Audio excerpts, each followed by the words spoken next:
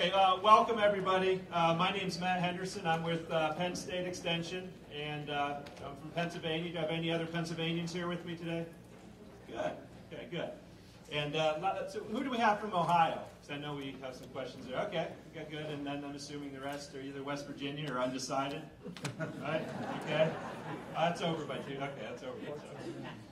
Okay, so we have a, a great program tonight, and uh, but definitely can see by the turnout in this room a lot of interest in what we're going to discuss this evening.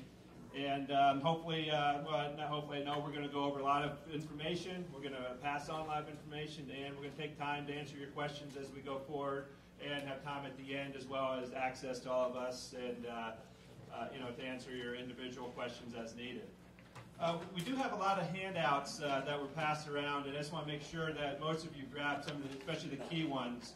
Um, you this, this stone, okay, you, you, got the folder as you walked in, which should have the uh, couple copies of the royalty check. Uh, the main one we're going to cover this evening would be the Stone Energy one, uh, the one in that one right there. Uh, so that's the other one is a sample of another operator, just to give you an idea that know, everybody, every check is different. This is Stone Energy, which uh, I know some of you have here, some of you may not. Uh, but we're going to focus the, uh, the bulk of the presentation when Steve comes up here on going over and analyzing that check there. Uh, again, some of you have different operators or multiple operators understood, uh, but the concepts are, are, the same and translate from check to check. So uh, some of the other handouts you had as you came in, there's a survey uh, that you should have received, and I'd ask you to complete those. That does help us out as well as uh, West Virginia Extension uh, for future programming, and uh, you know we do value that feedback. So if you could fill those out as well and just leave those on the way out, we would definitely appreciate that, or leave them on the table. We'll pick that up. Uh, some other, uh, what else we got? we have some other guides up here, Landowner's Guide to Leasing. I know it says Pennsylvania, but there's a lot of similarities across the, uh, the, the different states here in the, in the basin. So, uh, you know, if you're into that, you know, if you're leasing or have no people looking to lease again, there'd be some good ideas uh, in there as you work through that process, or maybe a recap a little bit about what you went through. So, and then uh, uh, Karen's PowerPoint is also in there as well. So, uh, she'll be coming up here in a few minutes to go over, you know, more of a localized flavor to West Virginia, what's happening here. So, good. So again, um, I'd like to thank everybody for being here, and uh, I'm going to go over real quick what we're going to talk about. Uh, so I'm going to give a, uh, a big picture of development, uh, pace of development, some of the trends that we see going on, and how that does and can impact your, the royalty stream. You know, impact the production, impact the price. Uh, you know, so as we go deeper into tonight, you're going to find out there's a lot of different factors that can impact you know, how much royalties you can receive. You know, it's not just, you know, how many wells are drilling. It's, you know, the price, the production, you know, the markets out there. Where's it being sold? So uh, a lot of different factors out there. So I'm going to talk about some of those on a big picture. And, um, and then Karen's going to come up. Karen Cox is here with uh, West Virginia Extension. And she's going to give you more of a localized flavor and uh, talk about the, the DEP site. So always what we encourage you is you have your checks, and there's a lot of questions sometimes. Well, how do I know it is what it's supposed to be? So this uh, should walk through going through the DEP site so you can download the data, compare it to what you're getting, and you know hopefully it's somewhat close, but it may uh, put up some flags, so you have to contact the operators or uh, you know some of the other presenters up here as well to uh, to get that corrected. So. I'm going to finish up when I'm done. Uh, I'm going to talk about, uh, we developed a royalty calculator. Uh, it's something that we've done through Pennsylvania, and it's more unique and it's specific to the basin. And I will admit it is specific to Pennsylvania right now because we have a lot more data points within Pennsylvania. But as I go through that, it is um, applicable to Ohio and West Virginia. And as we get more of those wells online and more production, we're going to plug those in there too. And that helps you a little bit with your planning and projections, depending, you know, so you can see yeah, what could I get or what's the future hold with uh, you know these different variables. I'll show you. You can change the price, change the percentage, and uh, you know how many wells you have too.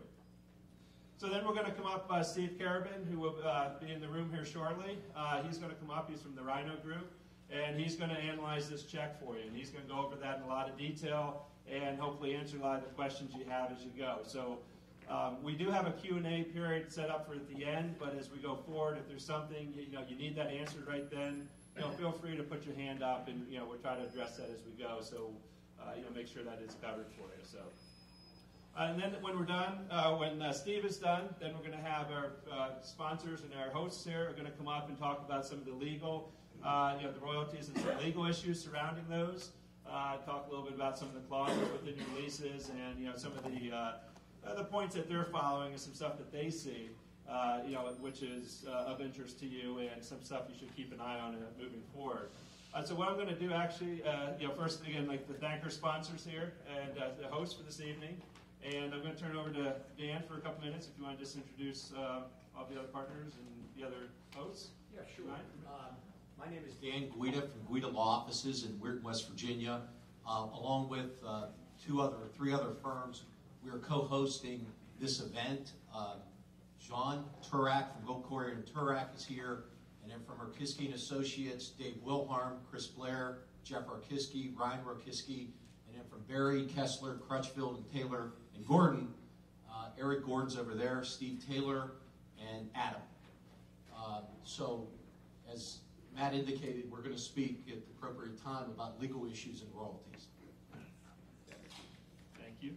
So, just one um, point there. Uh, you know what our role is, what extension role is, and I say this for Pennsylvania, West Virginia, and Ohio is we provide information, and uh, you know tonight's a good example, educational information. So when you have questions about, hey, my lease says this and I'm getting this, you know, we're not the ones who are going to answer that question. We may try to help you and steer you, but you know, these are the guys over here who are the ones you have to go to to try to get those answers for. So, yeah, that's why they're here. You know, that their expertise and uh, to help you walk through some of those potential issues you may run into. So, again, so I'm going to jump in. We're going to talk about some, uh, you know, some of the global issues here we see, and uh, bring it a little more localized. Then, as I turn it over to Karen. Um, I bring this up there because, you know, and you may say, well, I don't care, we're, we're in Wheeling, West Virginia, but all of these other shale plays out here, and, you know, I have a couple of the big ones circled, they do impact, you know, how fast or how much uh, royalties and what the production may be uh, for your particular uh, land out there. Uh, the companies have a lot of opportunities to go, and I'm going to talk a little bit about, you know, Pennsylvania, you know, we've just gone through an election here in PA and Ohio, and uh, operators have a decision to make, and you know they can move uh, from you know from where you're at, from your backyard, to any place across the country out there. And, and so I bring this up just so you know and you're aware, you know, because a lot of questions we do get is it slows down, and you know it's slowed down, and they're, they've gone away, they're not coming back. Not necessarily. You know, they're moving away because they have that opportunity to drill uh, you know, in the Eagle Ford or the Bakken or Niobrara and get oil and liquids, which is worth a lot more money to them than you know what they're getting in this market, maybe, or some of the dry gas, or even with some of the liquids out there. So I throw that up there. You know, again, there are opportunities and there are also threats to how fast and what this pace of development may take place out there. Again, on the global market, I always like to put this in there. You know, you look at the global market this, uh, this revolution really has taken place in this Appalachian Basin has sparked an international revolution out there. There's a tremendous amount of oil and gas out there, and, and you start to hear the discussion about exporting in the United States when we always talk about importing. So, um, this is this is big news really in what's going on in this region and in this area. Um, something we deal with on a, on a, daily basis. You know, we have a lot of these. Uh, uh, countries coming to Pennsylvania, to Ohio, West Virginia, asking how is it being done here and how can this be done in our homeland. So, uh, a transition with that with a quick question: Who we have up there? Okay, we got Putin up there who never smiles. Okay, he always looks that way. And then who's this guy over here? Right, the Saudi prince they're a little bit worried about what's going on right now here in the United States because you know the United States is moving up and you know we're the top uh, gas and we'll be the top oil producing country um, in the world. And um, who's paying a little bit less at the pump right now for gas? Okay, it's because what's going on here. I mean, you see the price of oil dropping because again in the U.S. we are producing more oil than we ever have in, in, in decades. And it's because of you know this shale revolution, because of the drilling and the fracking and, pulling this uh, oil out of this tight, uh, you know, the tight oil. So you know these guys definitely are worried. You know, and I bring Putin up there because you know they, they're concerned because they have a stranglehold on Eastern Europe. So I mean they're charging you know enormous prices for oil and gas in that market. So they are concerned definitely what is happening here locally. So this map here is going to uh, circulate a few times, and this is looking at, it shows about 12,000 wells, this is through June, that have been drilled in the Appalachian Basin. So as these cycle through here, you kind of get the pace of development, you see where the swath is, and then this is more recent here, you see where this development here in development in the last couple years has taken place. And so it gives you a feel for where this development has moved. But if you look in, you know, in Pennsylvania, we were really focused in the northeast and then the southwest. And then the last couple years, we have seen it shift shift down here into the, uh, you know, the panhandle there with uh, you know West Virginia, Ohio. Now there, there's a lot. I would say, and Karen will talk about West Virginia DEP. There's getting data from there once in a while is, is tough. So I mean, there's more wells being drilled in West Virginia than showing up on there. Uh, but you get a feel for where this is migrating to, and especially if you're in Ohio, you see how this has really come from a pretty wide area, and it's really being focused on a few counties out there right now. And I'll put my disclaimer that these dots are not the size. I apologize if you're in one of those counties because uh, uh, you see Bradford County or a little north of me looks like it's completely covered. There's about a thousand wells in there, uh, but I can tell you it's still pretty uh, pretty rural up there. A lot of farmland. So. So what's going on and you know, the pace of development, um, you know, from a, a, a development uh, place, uh, Marcellus is definitely more of a mature play. It's in the production phase. Uh, for the most part, you're still seeing some of the boundaries tested out there. Uh, but for the most part, the operators know where they're going to drill, and they have a pretty good idea uh, what their pace of development is. And you see that with the, uh, you know, as you see more of the pipeline development being put into place, some of the midstream, you know, the additional midstream work out there as well. So uh, you know, that big land grab, that big leasing activity, for the most part, has slowed down. Uh, you are starting to see, as we're in about the fifth or sixth year, you're starting to see some of those leases being renewed or coming up for renewal, but not, of course, not anywhere near the, the pace it was five or six years ago. Again, I you know, mentioned Marcellus, but Utica is really in that exploration phase. And that's a word of caution that it's, you know, you've got hundreds of wells versus thousands of wells as we do in the Marcellus. So they're still learning, still poking the holes out there and finding where is the valuable uh, land going to be and where, where we get enough gas, enough liquids, enough oil to make it worthwhile out there. So one of the big things is not probably you're aware of it uh, is this constraints in transmission. You know, getting the gas to market. Uh, you know, that's a big thing. Uh, you know, we, there's an enormous amount of gas out there that's come out of these wells in uh, you know in this basin, but the issue is where can it go? you know, the Northeast U.S. is, you know, a big market, you know, 25, 30% of the total market, but we don't have enough pipeline to get it there.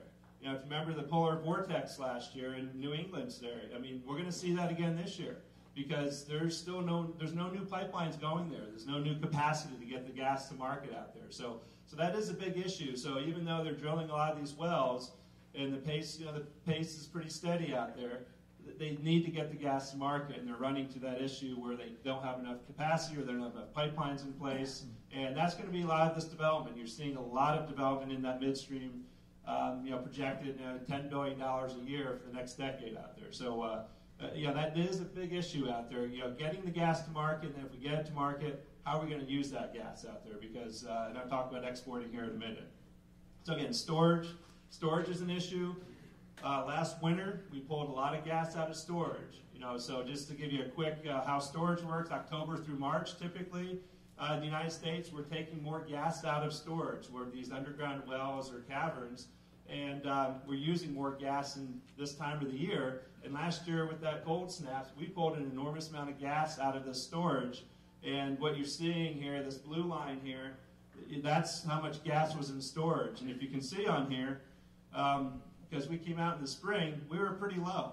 So that's why you started seeing the upward pressure in price that was going up because of supply and demand. We're going into the summer or to the winter months lower than we were last year. So if we have a real tough winter, we're going to see that pressure, that price going back up out there. And you see production pick up as well to try to get more gas in storage out there. So you know, this is a uh, say an impact of uh, price. You know, there's a direct correlation to where the price goes as we come out, uh, you know, from December on through March out there, if we have a cold winter and some of these polar vortexes snap through here, uh, that use an enormous amount of gas. Uh, some of the other uh, trends out there, you're seeing oil uh, being pulled out, oil and, some of the liquids.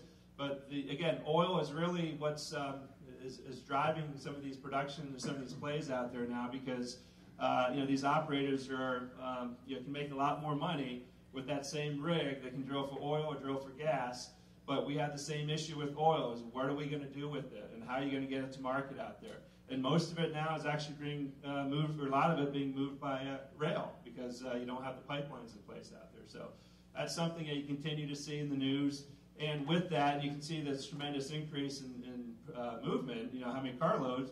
You, have had some issues out there with some overturns, some accidents, uh, which brings up the safety aspect out there as well, and that can slow down or change the pace of production as well.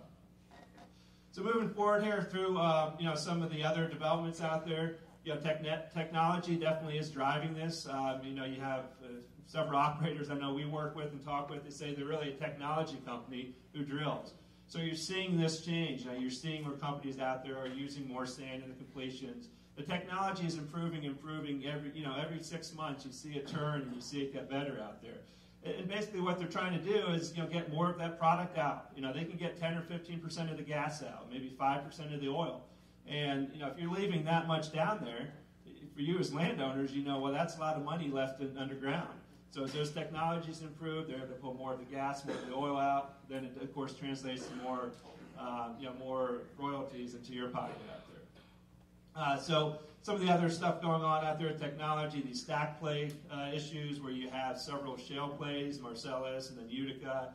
We have some of the Upper Devonian shale plays as well. So some operators and several of you guys in here, I'm sure, will have some wells uh, or some pads on your property that will be able to drill in two or three different formations out there.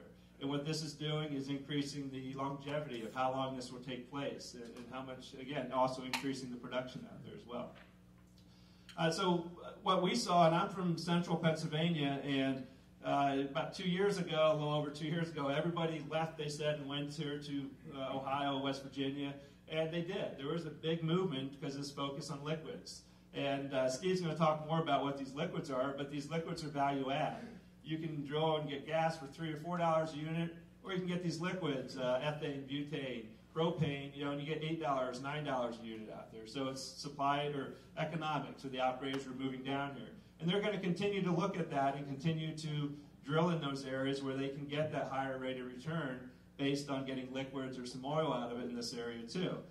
And now the other part of it is, what are we going to do with this? You know, so not only, you know, first we had all this extra gas, we saw the price drop, and now we have all these extra liquids out there. What are we going to do? So you hear some discussion about these ethane crackers. There's about four or five of those on the books that are moving forward very, you know, slowly in this region. If those do move forward, you know, three, four, five years from now, you're looking at a uh, you know tremendous growth in this Northeast, and it's really comparing, or Northeast is competing with the Gulf Coast out there. So uh, that's something to come in the future, but that's definitely going to impact you because you see, um, you know, ethane is a big liquid that they get out, and we're going to, uh, Steve will talk about that on the check.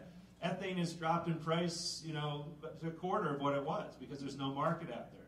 But if we have these crackers and these facilities in this region, you will see that price go back up, and uh, that's a big component of the royalty checks and the royalty streams out there. So, you know, again, it's three, four, five years down the road, but a lot of opportunities out there. So some of the other areas, uh, technologies out there is utilization. Uh, there's a big focus on, again, how can we use this resource domestically? You're seeing a push in uh, uh vehicle transportation. Does anybody have a CNG or LNG vehicle in here? Yeah? No? Oh, I see one hand coming up back there. Okay, so that's moving forward, obviously very slowly because it's the chicken or the egg. Well, there's no stations out there. So the station owners say, well, build the cars and we'll build the stations and stay, you know, vice versa. So it is moving forward slowly out there, and the economics are driving it. You know, you can pay, um, you know, dollar fifty. This is a little low, but dollar fifty for CNG or three fifty for natural gas, or you know what diesel's at out there. So again, trying to use more of it out there. Um, you know, some of these other areas, you're seeing power generation. You're seeing multiple power plants now being uh, being built.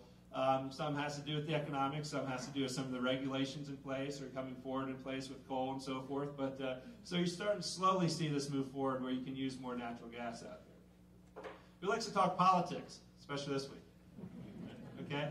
So policy, again, policy definitely can drive the development. I think, has anybody from New York or have New York property here? No?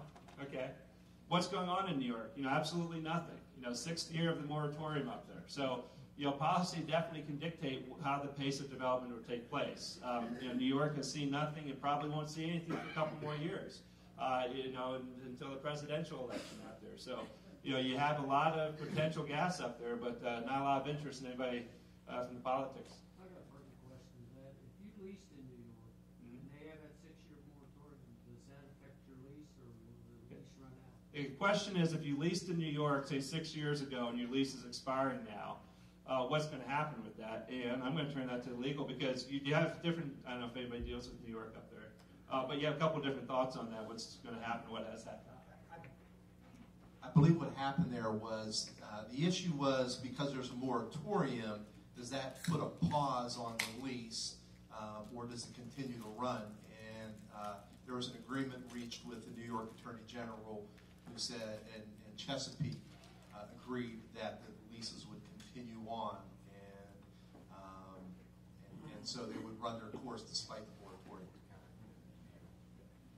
Yeah, and you've had some big operators actually go bankrupt up there because of that. You know, putting a lot of money into that So, Yeah. Okay, so some other policies. Uh, I talked a little bit about you know federal policies. Um, you have seen actually the federal administration turn their you know kind of do a 180. Uh, came out a couple years ago. wasn't very favorable of the, of the hydraulic fracturing and shale development, but you're seeing more favorable of let's move this forward. So, you know, the concern early on was there's going to be a lot of uh, new regulations. You know, so new regulations, increase cost of doing business. What's that mean to to us locally out there? So, uh, you know, again, we, we think from the federal level, it seems to be uh, more uh, favorable, or at least uh, uh, able to tolerate it, and, and still moving forward out there. From a state level, like I mentioned, Pennsylvania, we just went through an election, and uh, the governor Corbett, uh, Republican, well, the incumbent lost, and uh, uh, incoming governor uh, Tom Wolf is um, he's supportive of the industry, but he's going to tax it. He says, and you don't know what you know what tax it's going to be, but there's a lot of uncertainty out there. And basically, what that means, I, you know, from my perspective, is he's going to tax it a lot. You're going to see movement again to Ohio and West Virginia. You know, it's more favorable tax structure out there. Ohio a little bit. You hear the governor talking about increasing the tax a little bit. Uh, West Virginia, you know, the tax is moving forward. Uh, you know where it's at, so there's more certainty. You know what you're going to pay. Um, so again, from a Pennsylvania perspective, there's a lot of unknowns out there. So the next couple months are really going to tell how's the industry going to move forward, and uh, you know will we see a slowdown, and those rigs will move, and they may move again across the border here to West Virginia or to Ohio. I'll walk through some of these uh, quickly, but there's a lot of discussion now about exporting uh, natural gas uh, because we are set up here. We are now basically neutral in terms of we produce enough natural gas uh, that we use on an annual basis in the United States. Uh, we do import some from Canada just based on you know some pipeline issues, uh, but we're at a point now. What are we going to do with this gas? You know, it's not like we uh, you know, we've already shut off the spigot of all the importing that we've been doing, so we've turned that into domestic use. So now the question has come up: Should we export this? And it's you know you can get into a long discussion about the, polit- the politics of it, or is it you know the patriotic side of it? You know, this is domestic; we should use it here. Uh, but uh, it's moving forward, moving forward slowly. Uh, again, this is a long process. You know, this is a, you know you're talking billions of dollars of investments and years to turn these uh, plants around or build these new plants. But in time, as those do move forward, you will see some more of that, um, uh, that utilization of it. So increasing, you know, we have an outlet for the natural gas. So you will see, you know, maybe somewhat of a uh, uh, price stabilization or slight price increasing, depending how much is going to be exported after. Uh, we are exporting a lot more right now through pipeline. Uh, Texas, you know, we used to get Texas gas up here. Their, their market now, a lot of it's going to Mexico. So Mexico's increasing how much they're using on a you know pretty pretty steady basis, pretty hefty basis out there. So again, you're seeing some of this move across the borders. It's just exporting it, you know, via LNG. Uh, liquefied natural gas is moving forward really slow. So again, what's going on? Kind of the future of the development. Um, you know, the focus again is on using this. Um, you know, how can we use more as a as a country? Can we export it? Uh, you know, the technology is going to continue to improve. You know, so sometimes you might think, well, they didn't drill in, in my backyard. They only drilled one well. They're going to come back and drill five more. Well, uh, you know, the pace it's going with the technology increase, uh, you know, probably in two to five years or, you know, two years if they come back, that technology is better. They're going to be able to get more gas or more of the oil and liquids out of that well than they could if they drilled it nowadays. So it's not always such a bad thing as, uh, you know, if, if, you're waiting for them to come back.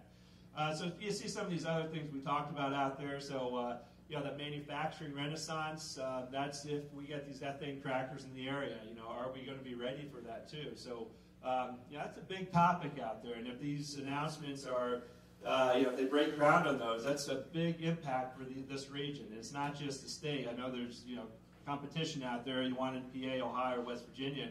It's going to benefit this entire region out here.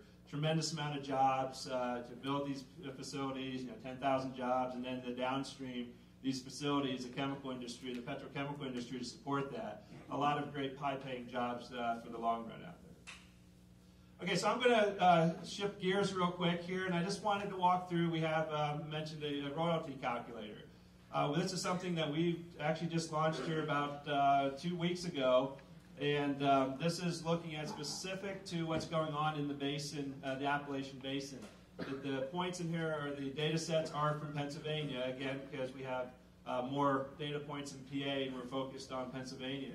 Um, but we have a couple, in the websites here at the end, uh, but what we are doing and what we have it for and what would be interest to you in, in Ohio or West Virginia would be this one, the all PA counties, because this is taking into account, I think about 7,000 wells across, in Pennsylvania and looking at their production. So when you extrapolate that to the basin, I think you get some good examples or some, some pretty good numbers based on where you're at out there.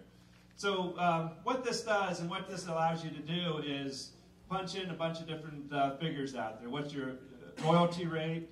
Um, you know, what's the price of natural gas or the average price of natural gas, which, you know, you can look at your old checks. So there's a lot of estimates out there. Uh, and then you can look at what your, you know, what the drilling site unit is and how many acres you have. You know, so if you have, in this case, you have 250 acres, there's 1,000 acres in the unit, and there's going to be five wells on there.